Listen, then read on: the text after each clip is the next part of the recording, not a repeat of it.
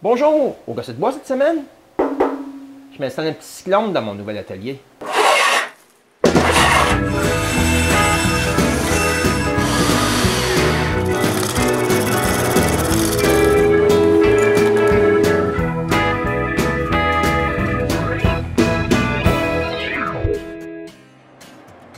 Présentement, j'ai un tuyau d'aspirateur qui part de mon dépoussiéreur, qui va sur mon établi, continue au centre de l'atelier, puis qui va jusqu'au banc d'ici. C'est pire que dans mon ancien atelier. faut que j'utilise les tuyaux que j'ai posés sous ma dalle de béton, puis que je branche le tout avec ce cyclone-là que j'ai acheté il y a six mois. La poussière, elle, elle va être ramassée dans ce baril de carton. Mon ancien setup comprenait aussi un plus petit baril de carton. J'avais un bout de tuyau qui se branchait au dépoussiéreur, puis un autre long tuyau qui allait vers l'appareil duquel je voulais ramasser la poussière. La grosse poussière tombait au fond du baril grâce à ce morceau de contreplaqué-là. Mais je perdais aussi la moitié de ma succion. C'est pour cette raison-là qu'ici, je vais faire quelque chose de mieux. La première chose que je fais, c'est de renforcer le couvercle du baril. Pour ça, je coupe un morceau de contreplaqué la forme du couvercle.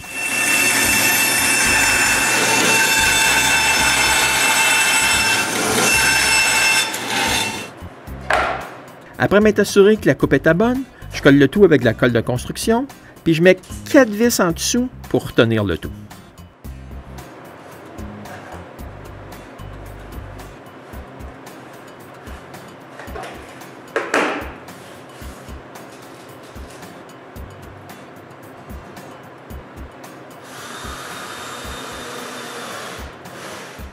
Ensuite, je retourne encore le couvercle, puis je mets un cordon de scellant autour du bois. Pour continuer, il faut que j'attende que ça sèche un peu. J'en profite donc pour me gâter un peu, puis je fais ma première randonnée de motoneige de la saison. À mon retour, il fait noir. Mais pendant ma randonnée, j'ai pensé qu'il faudrait peut-être renforcer le couvercle encore. Je recoupe donc un second cercle, puis je le visse sous le couvercle, en sandwich entre le plastique.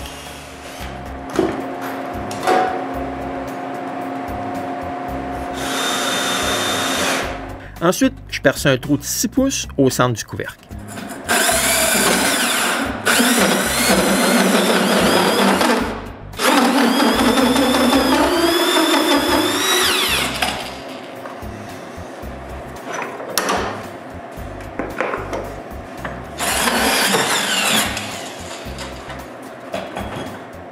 Puis je trace le contour du cyclone sur le bois, puis je colle des petits morceaux de mousse autocollante partout pour couvrir la ligne que je viens de faire.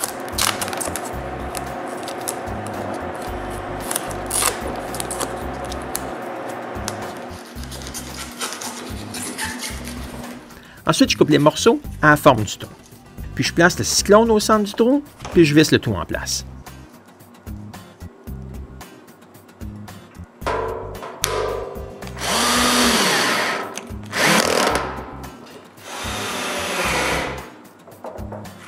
Reste juste enlever l'excédent de mousse autour de la base du cyclone.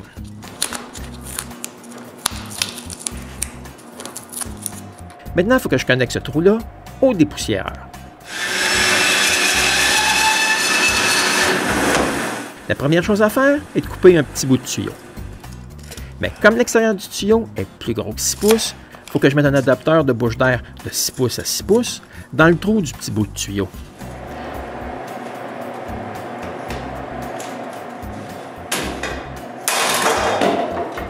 Une chose que je peux dire, c'est que j'avais jamais pensé que ce serait aussi dur que ça mettre ces deux morceaux-là ensemble.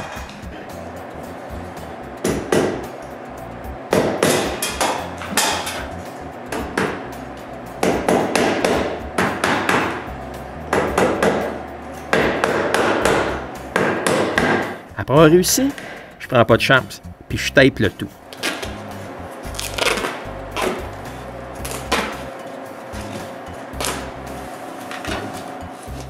Ah, enfin, j'ai le premier morceau de fête. Le cyclone, là, il a une entrée de 5 pouces.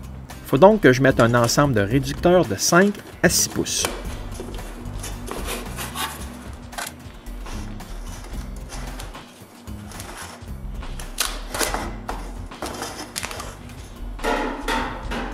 Ah, un deuxième morceau de prêt. Maintenant, il faut que je mette tous ces morceaux-là au bout des tuyaux que j'ai achetés. Par contre, le tuyau, il ne fit pas directement sur le cyclone. Il faut que je mette un adapteur de métal entre les deux. Puis moi qui pensais que c'était difficile avec le tuyau de PVC. J'ai réussi enfin à mettre les deux morceaux ensemble. Pour m'assurer qu'ils restent ensemble, je mets un collier serre-tuyau.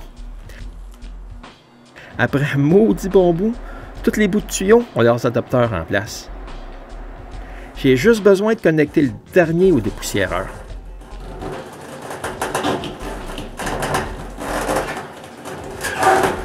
Puis lui aussi reçoit un collier.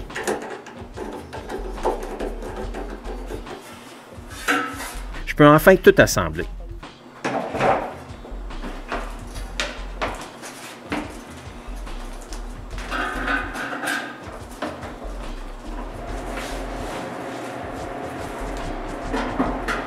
Puis voici le tout en marche.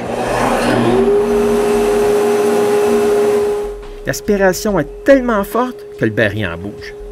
Mais avec six trous ouverts comme celui-là, il n'y a pas beaucoup de succion dans chaque trou. Il faut que je me fasse cinq bouchons de trou. Je commence par couper un bout de chute de mur.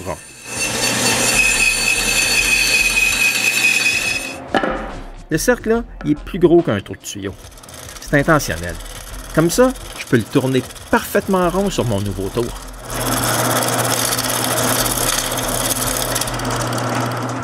Avec son profil en fuseau, c'est parfait maintenant.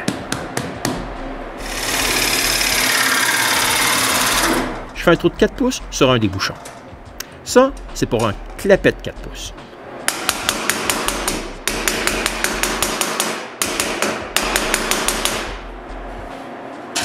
Ensuite, je peux boucher 5 des citrons avec les bouchons que je viens de faire.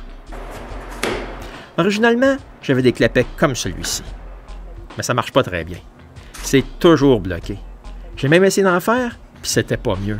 La poussière reste prise dans le rail, puis le clapet, il ferme plus. C'est pourquoi cette fois-ci, j'ai acheté des clapets auto-nettoyants. J'espère que ça va être mieux. Bon, ben maintenant, j'enlève la mancheur que j'ai installée sur mon banc ici, puis je me fais une nouvelle porte avec du plexiglas.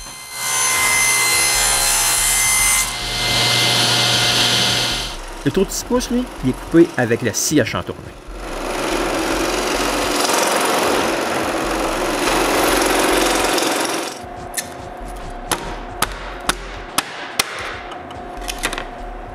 Chaque coin reçoit un trou pour un boulon.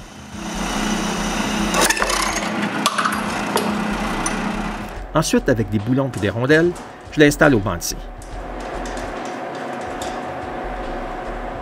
Maintenant, il faut que je construise une boîte comme celle-ci qui va me servir de hub à poussière centrale. La première chose à faire est de couper les côtés de la boîte à partir d'un morceau de contreplaqué.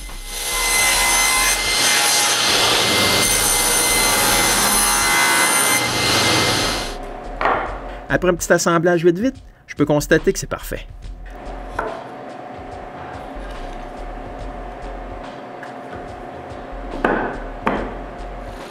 Ensuite, encore avec la sachant tournée, je coupe les deux trous de 6 pouces.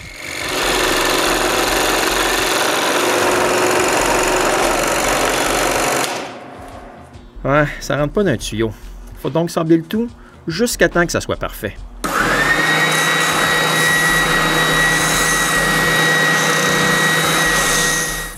Puis, avec l'emporte-pièce, je perce les deux trous de 4 pouces.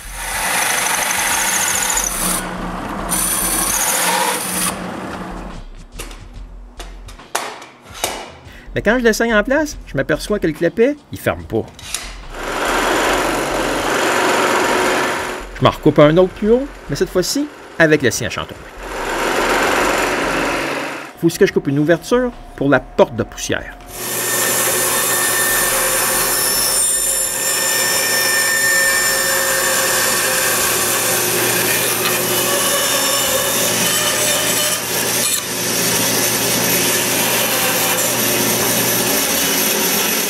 vais utiliser le reste du plexiglas comme porte. Mais pour la retenir en place, je coupe des bouts d'angle d'aluminium, puis je leur perce des trous pour les visser en place.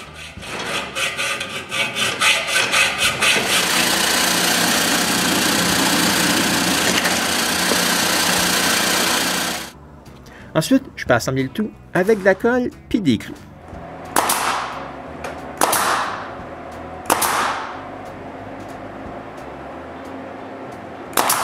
Puis je coupe un autre petit bout de tuyau pour le bas du hub, puis je le mets en place.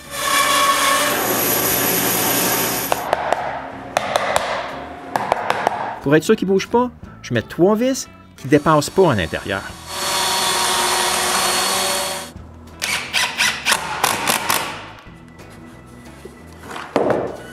Pour aider l'aspiration de poussière, je donne un petit chanfrein, sa partie avant.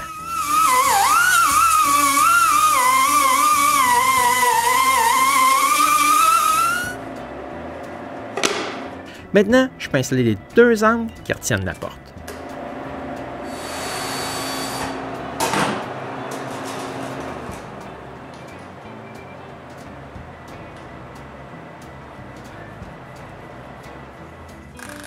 Je coupe un bout de tuyau, puis je mets encore tous les embouts nécessaires sur le tuyau puis sur le hub.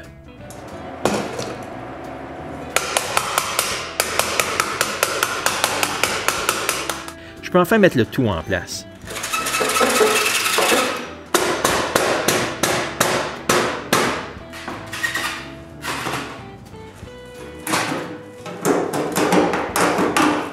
L'essayer pour la première fois.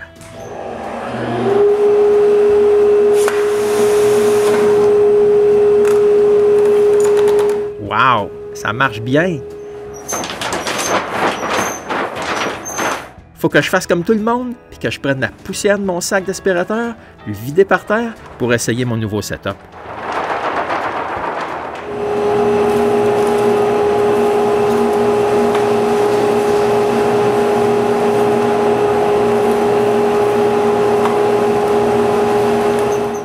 Wow, encore! Le sac, il est encore vide.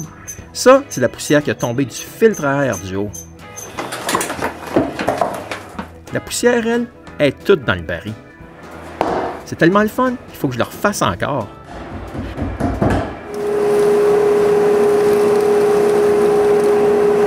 Maintenant que mon système d'aspiration fonctionne bien, je peux me concentrer sur mes portes intérieures pour le prochain épisode du Gosse de bois.